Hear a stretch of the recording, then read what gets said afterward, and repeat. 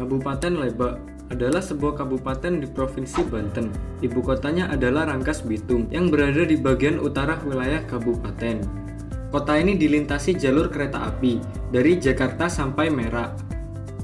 Kabupaten Lebak terdiri atas 28 kecamatan yang dibagi lagi atas 340 desa dan 5 kelurahan. Baduy merupakan salah satu objek wisata yang dimiliki Kabupaten Lebak dan sering dikunjungi wisatawan dari mancanegara maupun wisatawan lokal karena memiliki keunikan tersendiri. Kabupaten Lebak memiliki topografi berupa pantai, dataran rendah hingga pegunungan dengan ketinggian wilayah antara 0 sampai 1929 meter di atas permukaan air laut.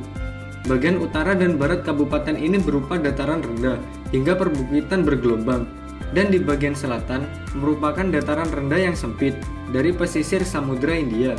Sedangkan wilayah bertopografi perbukitan hingga pegunungan terletak di wilayah timur hingga tenggara yang berbatasan dengan Provinsi Jawa Barat yang merupakan bagian dari Taman Nasional Gunung Halimun Salak. Batas wilayah Kabupaten Lebak antara lain, sebelah utara berbatasan dengan Kabupaten Serang dan Kabupaten Tangerang, sebelah timur berbatasan dengan Provinsi Jawa Barat, sebelah selatan berbatasan dengan Samudra India, sebelah barat berbatasan dengan Kabupaten Pandeglang.